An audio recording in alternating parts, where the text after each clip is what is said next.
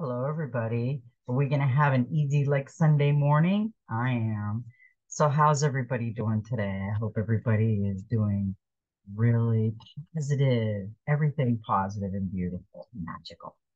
So, we got some really good cards to get our end of the week wind down uh, thoughts and uh, messages that need to come in. And I'm going to start. And you know what was interesting? When I was shuffling the uh, Dreams of Gaia Oracle, and I'm shuffling it, and I kept picturing this one card, and all of a sudden the card came out. So I knew that we were going to get the card. It's really weird. I try to practice this when I'm doing shuffling. If I can envision the card that's going to come out, I work with my um, my senses and my intuition and my gut feeling as I'm doing things during the day. And with the cards, sometimes I try to envision which one's going to come out. And it was really funny that the one I envisioned came out because this is the three of fire. And it's an action, a necessary sacrifice, experiment, practice, and refine. He looks like he's going on a journey. He's got his little hobo backpack and he's got his uh band around. He's got his little everything he needs, and he he looks he looks like he's really just ready. He, he's had enough. He's looking back sideways, and he's just like, "Say bye." So yeah, this is a really interesting card. Avoid copying those who inspire. Set out into the great unknown and trust. Put your objective objectives first. Avoid cutting corners. Pay attention to detail. Have you lost your direction? Um, this is going to be a really good card for us for the end of the week. Do you have an idea or creative venture that you would like to implement? The three of fire represents the necessary sacrifice that is many that may be required when we act on our goals and objectives. When we first begin to act, we often find ourselves exploring the paths walked by those who came before us.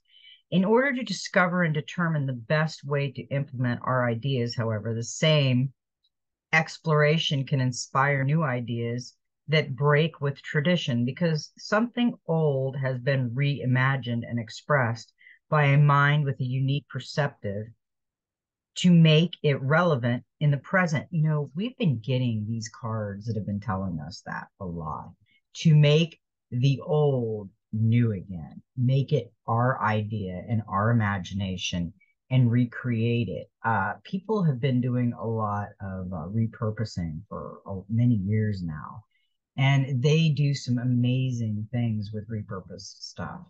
And I think this is pretty much what is this this is telling. I mean, we all have these ideas and we watch these certain people and we get we get uh, imagination going from what they're doing, but we don't want to copy what they're doing. We want to, you know, use a little bit of what they're doing, but make it your own, create it yourself.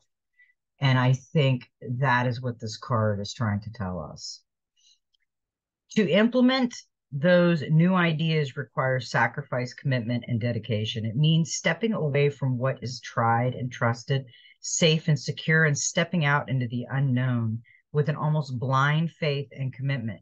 It seems putting the objective first and turning away from everything that distracts. You might prevent it from being achieved. It means working hard and not cutting corners in order to speed up the process. It means knowing that what you create will only equal what you have invested and what you are willing to invest. The three of fire lets you know that now is also a good time to explore and experiment on a practical level. Use your hands and mind to practice, hone, and refine your skills or abilities so that what you create and do will always be something crafted to the best of your abilities and be a true reflection of your passion and dedication. Remember also to avoid copying another's idea because this is the time to be innovative, create, using your experience and imagination to inspire you instead of the vision and ideas of another. Yeah, I completely agree. I mean, yeah, you could have concepts of the person that taught you, and that that's fine. That's one thing because they taught you, but you don't want to take away everything that's them because then it's not going to be you.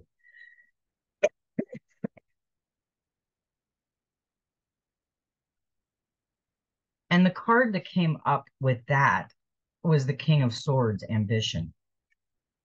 Look to the facts before you make decisions.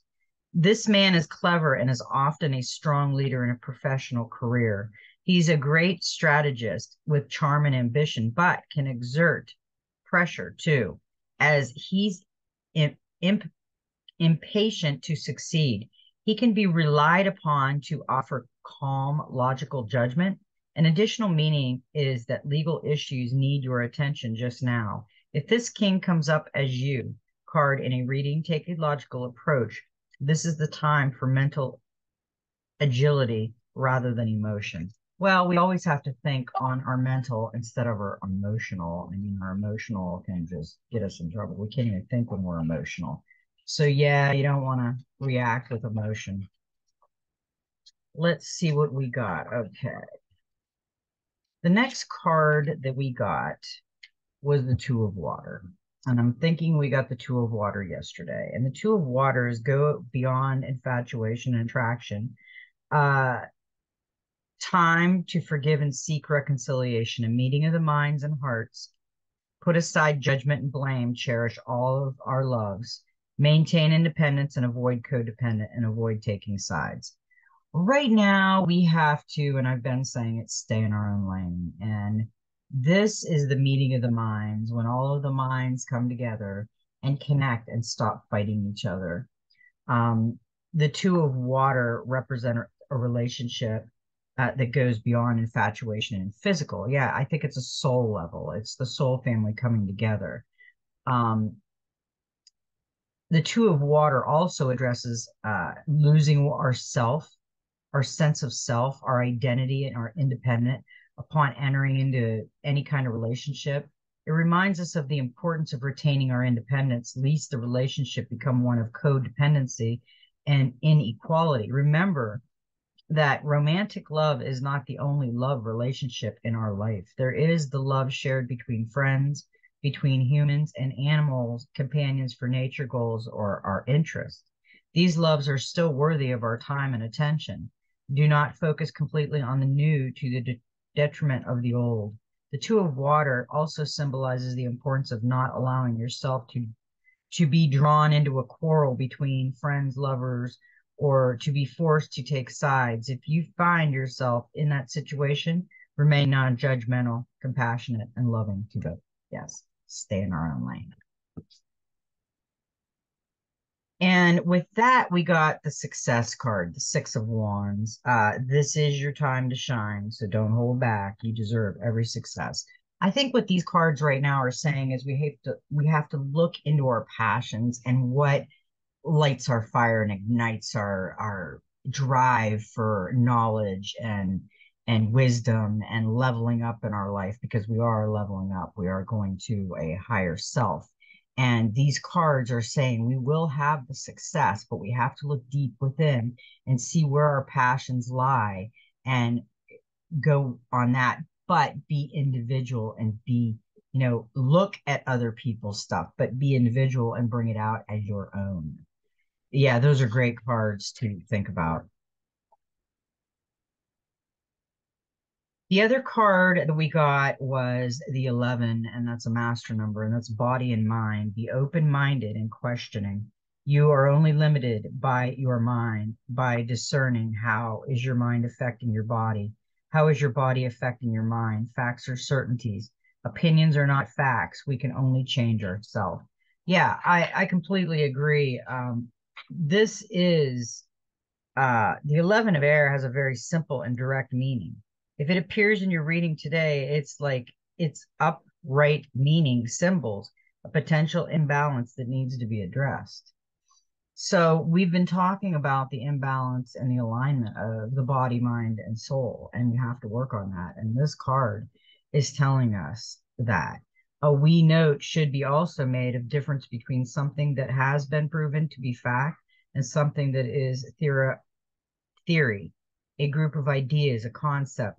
We have to think about everybody's opinion. It, it's just an opinion. So it keeps reminding us of that because we take what people say and we run with it like it it's the fact and we should think about it and oh my goodness, you know, is that me? We're questioning ourselves when somebody says something. It's just their opinion. We get the Six of Cups on that one, and that's reflection, and that's interesting. The body mind is telling us to reflect. And uh, the pa- it says enjoy reconnecting with the happiest aspects of your past, which energizes, entertains, and inspires you for the future. The past comes to life as someone from your past returns. This may be an old friend, an old flame. Equally, you may find other ways to slip back into the safe haven of your former years through remnants over old times, enjoying the company of children, creativity, play, and returning to your favorite childhood place. Uh, in a relationship, you find a sense of peace, security, and comfort. Uh, yeah, we have to kind of, when we think about the past, uh, we have to think about the good. We can't heart, we can't keep going back to the bad. We just got to release the bad. I think everybody's having a hard time releasing the past because we did get the um, 13, the Queen of Air, or Queen of Air, Queen of Fire. Be optimistic and enthusiastic, engage and stimulate all senses, give your full attention, be focused and confident, take pleasure in life. Yeah, she's, uh, this is a good one. Um, if you've had recent experiences and few disappointments and blows from life, uh, has your confidence been shaken and now you are wanting to hide away and wallow in self pity and sadness? The Queen of Fire symbolizes a need to meet life head on. Don't hide. Pick yourself up, put your game face on, and keep going. Put your head back and laugh in the face of conflict and challenge. Make a proactive choice not to be miserable, even if it means faking it for a while. Your choice not to focus on a situation or issue that cannot be changed will serve you well. Your choice to smile and laugh, to dance and derive joy from life, in spite of disappointment and hardship, will bring good things into your life. The Queen of Fire also cautions you against giving in to catty behavior. Do not allow hurt, disappointment, jealousy, or petty rivalry to inspire you to have behave in a manner that is beneath you. You are a queen, act with grace and dignity. Put your claws away. Your time and energy are better invested elsewhere. I completely agree with that. And the last card we got for the clarifying was the chariot movement, the seven. It's time to actively move forward with your plans. Keep that ego in check when you need to and enjoy the time of power and motivation. Yes, we need to take back our power and we need to get motivated. What drives you? What keeps you up at three o'clock in the morning? You need to think about all those things. Now, we did get a gateway of light activation. Beautiful card. The chamber of violet flame karmic release and radical transformation. And the radical transformation is what we are going through. So I'm amazed we got this card. This is a perfect card to describe what we are going through. The violet flame is a spiritual retreat space that holds a powerful energy of transformation and transmutation.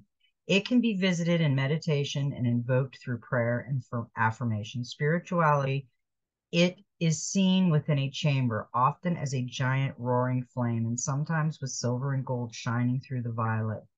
When we connect with the violet flame, we are being given the opportunity to detach from lower vibrational experiences and turn darkness into light. it's a beautiful card. I love that. And Ultimately, this is the gateway of alchemy. Alchemy is the art of tuning, turning lead into gold. And so, from an energetic percep- perspective, the violet flame is where you, we place all that is leaden and heavy in our life and turn it into a golden opportunity. When you receive this card, know that the violet flame of transformation has been brought to you by your angels and guides. They are encouraging you to see that you are in a space of radical transformation. Transformation can be overwhelming, but know the hand of the divine is leading the way. All past trauma is now being cleared from your energy. Stay focused on releasing all the energies that are no longer serving you. The violet flame is here to transmute fear into love. If any fear is rising up inside you, know. Know now that it is simply a call for love. Call in the strongest form of love you know, and allow those in your inner circle to support you through this transforma- transformational time. You are an alchemist with the capacity to take all the leaden aspects of your life and turn them into a golden opportunity. You can align your life with the divine plan now and live in a more pros- uh, proposal proposalful way. Yeah, I can say that. That's like aluminum. okay, that was great. I love that. Now, we've got the Soul Helper Oracle. We got one card. And we got a number 16, which is a seven. To conform is to die inside. Be brave and be yourself. Yes, a hundred and thousand percent. Conforming can be a positive in certain situations. For example, when someone conforms out of politeness. This card has a warning for you. However, to live means to bravely follow your own path. Following the paths of others means, in a sense, dying, withering inside. You merely exist on the paths of others, but you cannot live. You will find the light of your own life only on your own soul path. Recognize and acknowledge your lies and errors. It is a mistake to believe that you can please everyone and follow their wishes. It is impossible. You have been dazzled by the light, the bright kaleidoscope of colors of those who rob you of your strength and your light, and you have lost yourself in them. You have conformed as a chameleon would, and you are making their opinions your own. It is time to realize this and learn how to say no. It is time to have only your own colors in your life, to feel only your own happiness, to let your own light shine out. Inner life or inner death? Which do you want and who are you? It is time, it is now time to rebel, to start a revolution. Free yourself from your lower negative energies and decide who you want to be. The moment has also come to share this with the world and those around you. Do not hesitate any longer. Your soul is speaking to you. Listen to your heart, to your the feelings, listen to your own truth. Your soul helpers for the next 21 days, the power animal is the tiger. The herbal essence is the tea tree oil. The healing crystal is the peace agate. And the number is seven.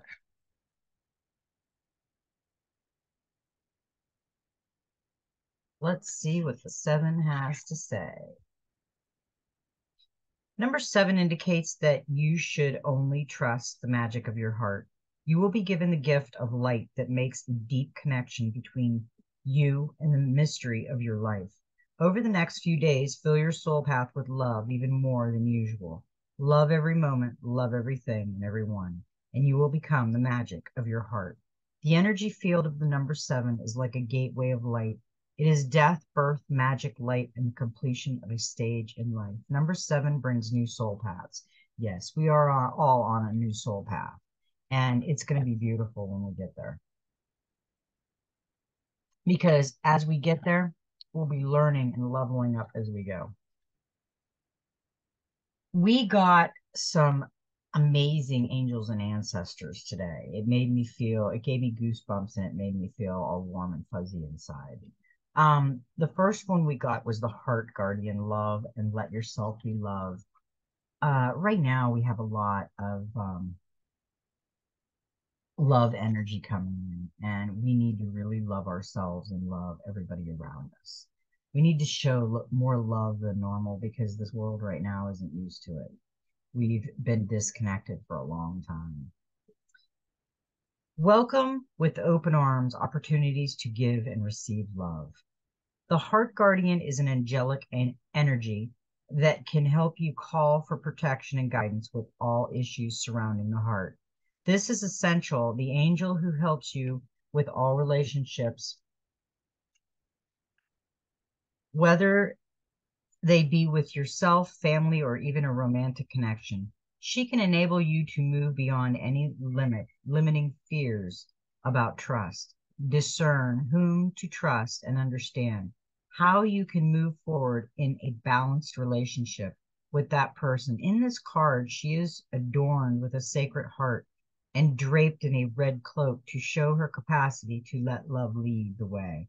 Yes, she is. It's beautiful. She's got wings going on with her and she's got the heart right there and she's just she's just beautiful. She's just showing all her love.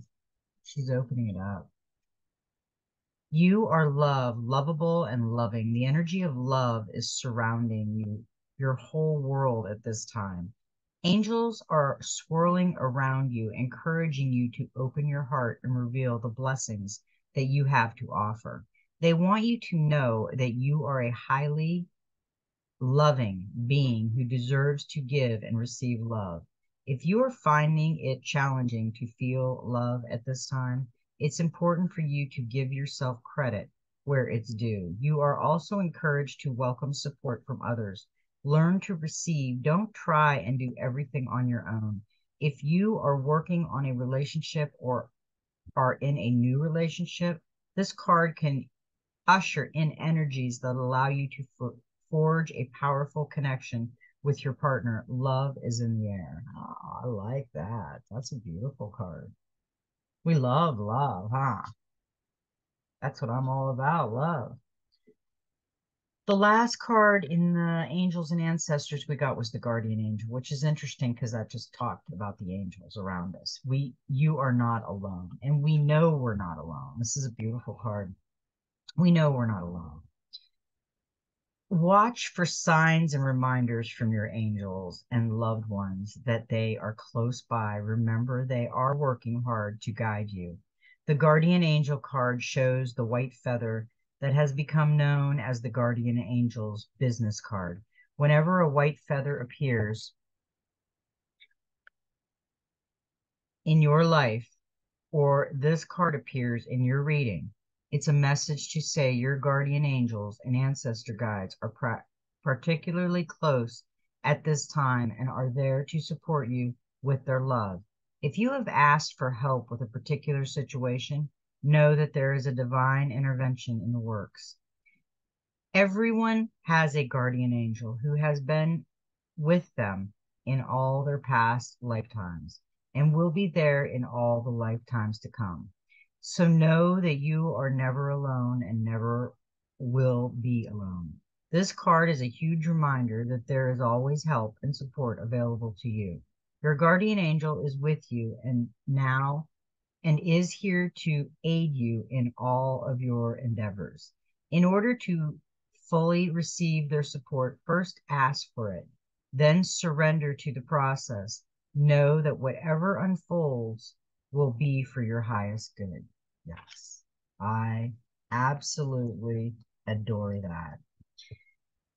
So far, we have gotten a very beautiful reading, and I think we're going to get an even more beautiful reading because the Divine Master, we got two cards with the Divine Master, and I have been looking at this card since I, I received this deck, and I so couldn't wait till this card flew out as I was shuffling because I really wanted to read it and I never did because I wanted it to kind of be a surprise when it came out that it it needed to be read when it came out.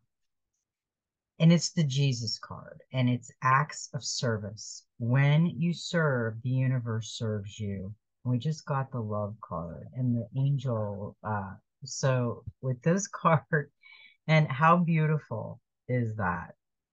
I mean, literally, how beautiful is that card? Jesus of Nazareth is a bringer of truth and light. He is a guiding pr- presence for the entire universe and a living, dying spiritual demonstration that forgiveness is possible and that a life of service will ultimately bring sus- sustenance. When Jesus walked the earth, he was persecuted for his beliefs and his bravery, yet he still loved everyone. For he saw the world through the eyes of the divine. Jesus is everywhere at once. He is with you right now. Like the angels, he awaits your call And with the help of the angels, he can restore you to your natural light filled self. When you call on him, he will bring light to your mind. His presence removes the blindfolds and that prevents you from seeing all the blockages that stand between you and your growth. Jesus may be a spiritual leader, but he loves to be seen as a friend and brother. He comes to us as an equal and doesn't want us to idolize him, but to see that what he has, we have too. When this card appears, you are being invited to tune in to the energy of service. Service is showing up with a generous heart and sharing your, your gifts in a way that can help the expansion of the world. It's important not to confuse the energy of service with charity, for these are two different energies. And when you, you service, it is okay for your gifts and talents and service to be honored in an energetic exchange. Saints from the age of 13 onward, through these encounters. Oh, wait, I skipped a page when I tried to turn the page. Sticking together. Okay, here it is. Today, the light of heaven is encouraging you to recognize that you deserve to be honored for the talents you share. Jesus is here to help you move beyond any old ideas that you have to give until you are empty. You aren't here to live empty or half full. The divine plan is for you to enjoy fulfillment and abundance. Instead of asking the universe or God to use, you ask to be guided to serve in a way that also serves you. When you are full and overflowing, you have more energy and resources to share with others. Wow. I like the way that card read it. That was, you know, I'm, I'm going to reread that last paragraph because I think we really need to think about the way it was put. Instead of asking the universe or God to use the quotes around it, you ask to be guided to serve in a way that also serves you when you are full and overflowing, you have more energy and resources to share with others.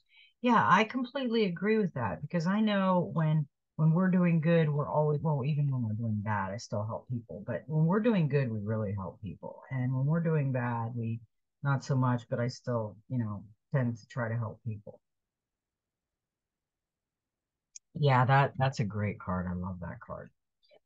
And we also got Brigid inner fire, let your passion lead you to your purpose. You know, all of this reading so far to me is about finding our purpose in life, about recreating something from the old and making it our own because we are unique in our own way. Uh, giving so much love and finding so much love within and walking within your heart space on a daily basis. Uh, asking to be served and be a service to others. Uh, just so much in this reading resonates that we need to think about. And the inner fire, lighting the inner fire of passion, because we have to have the passion to, we have to love what we're doing and have the passion to what we're doing in life. Or we're just grumpy and irritable because we're not, we're not going further in, um, in our life. We're just, we're just stagnated.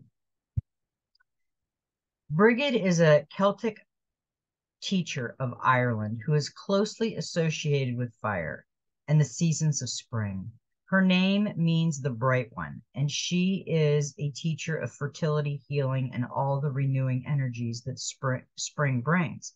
In Ireland, she's the protector of wells and holy shrines. Originally, Brigid was so well loved that when Christianity came to the British Isles, she was a, adopted as a saint, and thus she brings the energy of resilience, strength, and survival. You are a highly